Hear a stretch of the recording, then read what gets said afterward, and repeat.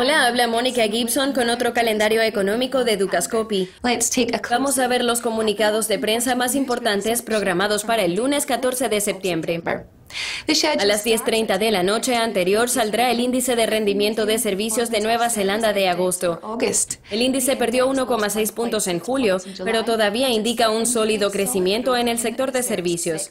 El índice de la industria terciaria de Japón de julio saldrá a las 4.30. El índice se recuperó en junio tras haber disminuido durante los últimos tres meses. El índice de precios al productor de Suiza de agosto saldrá a las 7.15. El índice registró su cuarto descenso mensual con consecutivo en julio.